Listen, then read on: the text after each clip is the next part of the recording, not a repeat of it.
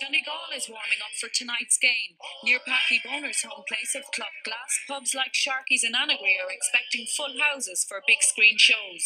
Oh, it's just going to be great. We're all standing by and everywhere in Donegal, especially Gweedore and the Rosses, and we're all behind Packy Bonner.